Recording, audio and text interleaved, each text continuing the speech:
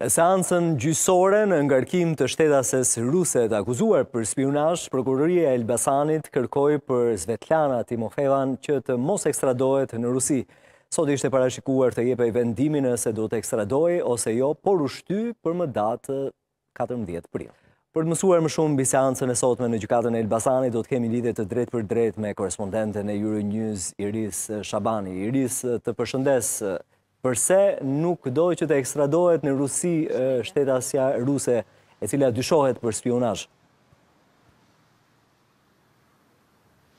Atëherë, është zhvilluar sot seanca gjyqësore për zhvillimin për ekstradimin e blogerës ruse në Rusi. Pas konkluzioneve përfundimtare të paraqitura nga prokuroria e Elbasanit, e cila kërkoi të mos pranohet kërkesa e Federatës Ruse për ekstradimin e shtetases ruse Svetlana Timofejeva drejt Rusisë, por edhe argumentit të parashtruar nga pala mbrojtëse, Gjykata e Elbasanit është tërhequr për të dhënë vendimin e saj. Sipas gjykatësit Elin Dine, vendimi për shkak të kompleksitetit të çështjes dhe për shkak se shtetases ruse i ishin dëmtuar syzet, Do të shpallet vendimi më datë katërmbëdhjetë prill në orën dymbëdhjetë e pesëmbëdhjetë.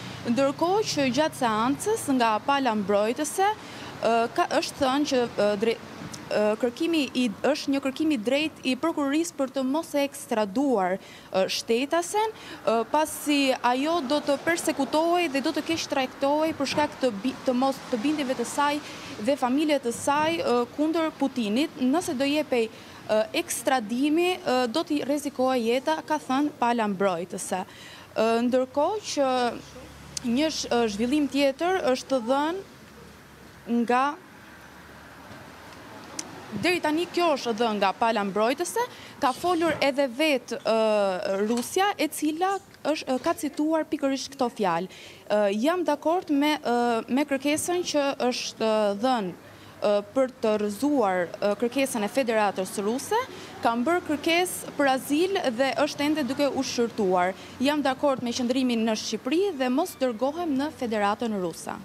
Qartë. Kjo pra është në mënyrë të përmbledhur ajo që ka ndodhur sot në Gjykatën e Elbasanit. Pritet që të merret vendimi në datë katërmbëdhjetë prill apo jo, nëse do të ekstradohet apo jo shtetasja Ruse e dyshuar për momentin për spiunazh. Iris, të falënderoj shumë. Po, do të jepet po. vetëm vendimi në datë 14, mhm. ndërkohë që sot janë dhënë vetëm konkluzionet e seancës. Qartë, është shqyrtuar. Nuk ka patur përfaqësues të ambasadës ruse në seancë, ka qenë vetëm e akuzuara shtetasja ruse. Qartë, e cila pretendon se duke u ekstraduar, i rrezikohet jeta pra në vendin e saj, në Rusi. Mirë, Iris, të falënderoj për gjitha informacionet.